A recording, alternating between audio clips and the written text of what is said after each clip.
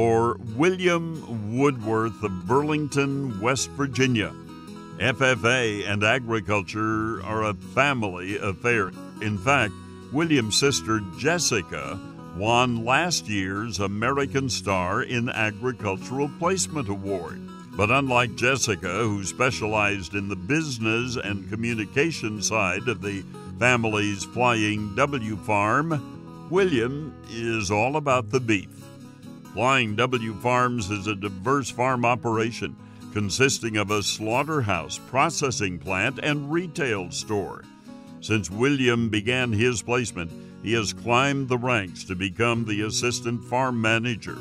The farm has 200 Angus brood cows, with the calves being fed to choice, harvested, processed, and sold at their Flying W store or neighboring retail establishments. William is involved in all aspects of his cattle operation. He maintains a beef quality assurance program, ensuring the cattle are fed to choice, and he monitors production and quality in all aspects of the pork and beef processing.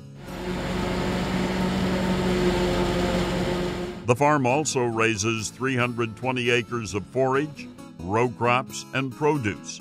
But when William is not in the fields, he can be found in the processing plant, grading the beef or testing the pork for salmonella. William keeps detailed records to ensure the highest quality. He takes great pride in his ability to break and fabricate the carcasses into retail cuts for his customers to enjoy.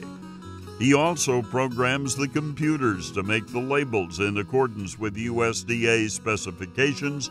William is a fifth generation farmer, and he is proud of his family's farming heritage. He credits his parents, Richard and Margaret Woodworth, for instilling his love of agriculture.